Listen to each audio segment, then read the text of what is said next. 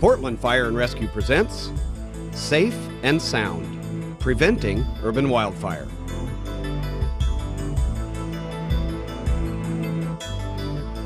Lush and natural vegetation is part of Portland's charm. It's one of the things that makes our city beautiful and livable. However, our wildland environment creates significant fire hazard, threatening lives and property. The density and type of plant life provides an abundance of fuel to burn, and our steep topography encourages fires to spread quickly. Wildfires occur in many parts of Oregon, especially during the late summer. However, wildfires in an urban setting like Portland can be much more deadly. Because of our dense population and the number of structures in wildland settings, we have less time to evacuate residents and protect personal property. In the area around Forest Park alone, almost 8,000 structures exist, representing $1.9 billion of property value, not to mention the 20,000 people who inhabit them. The potential for loss of life and property is very real, as our neighbors to the south know only too well. In California, the 1991 Oakland Hills fire taught the fire service some valuable lessons about the nature of urban wildfires, but not without significant loss. 26 people died and approximately 3,000 homes were lost. Here in Portland, another unique factor adds a specialized risk to our urban wildland areas, and it's our love for keeping Portland green. We've designated environmental zones, rules designed to ensure that plants and trees are left alone to grow and flourish. Those environmental zones typically coincide exactly with the areas that are at high risk for urban wildfire. In a nutshell, these are our hotspots, and if you're watching this video, you probably live in one of them. Unfortunately, we have quite a recorded history of fires in these areas. For example, in the early evening of August 8, 2001, residents living on the Willamette Boulevard bluff near the University of Portland very nearly lost their homes and a large part of their community. Firefighters and citizens in a dramatic team effort stopped the five-alarm wildland fire just before it overwhelmed the structures in its path. That example, although recent and dramatic, is just one in a historical pattern of urban wildfires in Portland.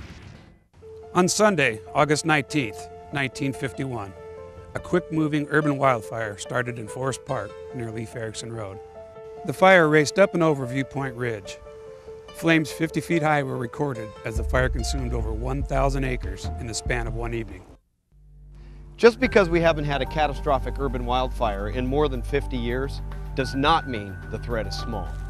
Actually, that very fact increases the danger dramatically because it means there's significant buildup of plant material. In other words, plenty of fuel to burn. We need to strike a balance between nature and fire safety, not only to protect lives, but habitats and air quality.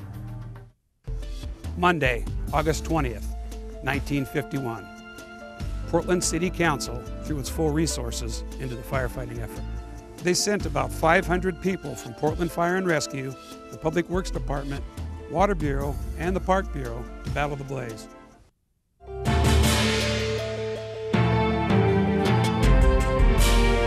You can reduce the danger by limiting the hazards in the ignition zone. Because of the environmental zone restrictions on removing plants and trees, you can only perform limited vegetation modification. Here's Senior Inspector Richard Haney with tips on what you can do to prevent the spread of fire. There's a lot of smart things you can do to make your landscape and home safe from wildfires. One of them is pruning back the branches that are within 10 feet of the walls and roof structures.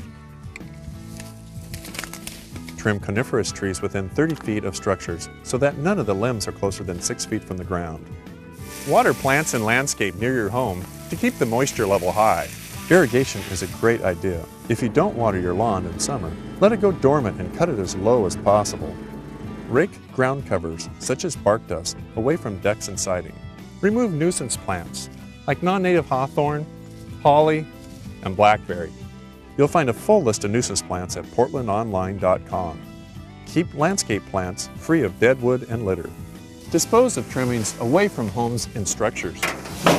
Recycle them. Don't put them back into the natural area. That just adds to the fuel load.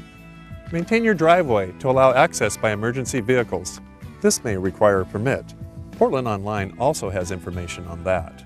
And finally, when gassing up yard equipment, make sure that you're on the driveway the motor's off and the engine's cool. When planting a new landscape, select native plants that are naturally fire resistive. Find a list of species on the city's website. When planning landscape, think long term.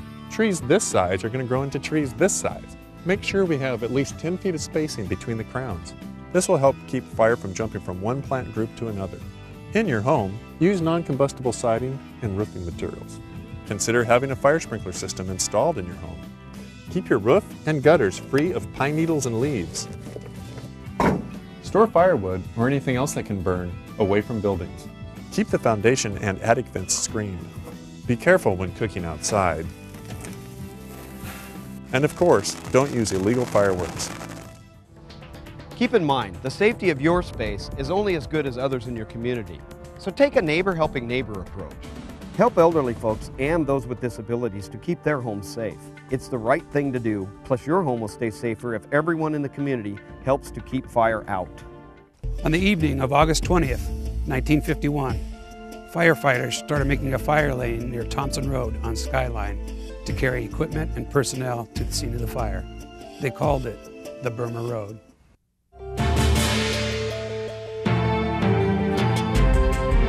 And finally, if the worst happens, you need to be prepared for that too.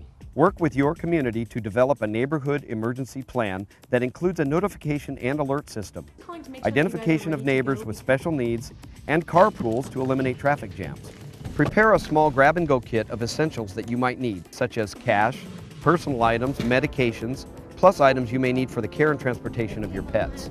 Practice at least two escape routes from your home. Remember that evacuation by foot can be extremely hazardous and is a last resort. Identify areas where you can go that are safe from wildfire, such as schoolyards or other open areas. If you have street trees that front the public right-of-way, keep them pruned enough to allow passage of emergency vehicles. You can get a no-cost permit from Urban Forestry, which includes a free tree inspection. Check out the city's website for more information. If an urban wildfire starts, implement your family evacuation plan and your neighborhood emergency plan. Keep roads as clear as possible for emergency vehicle access. If you have enough time, close all the windows and doors.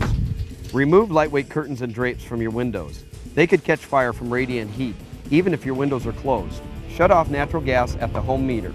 And remember to let the gas company turn it back on for you. Tuesday, August 21st, 1951. The weather was hot and dry, and the blaze was going full force. Firefighters had brought the Burma Road within 200 yards of the fire.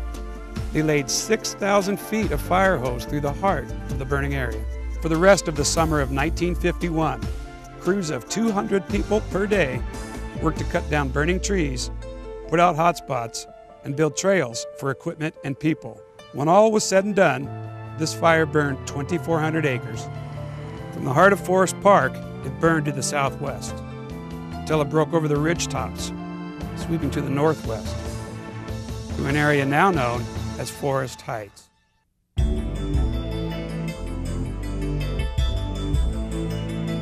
The bottom line is, urban wildfires are a community concern. From entire neighborhoods at risk to preserving our natural habitats, forests, and parks, everyone can take part in prevention as well as mitigation and evacuation. If you want more information on what you can do, check out our website. You can download brochures about native vegetation, how to reduce fuel loads, fire-resistant construction materials, and many other ways to help reduce the risk of fire.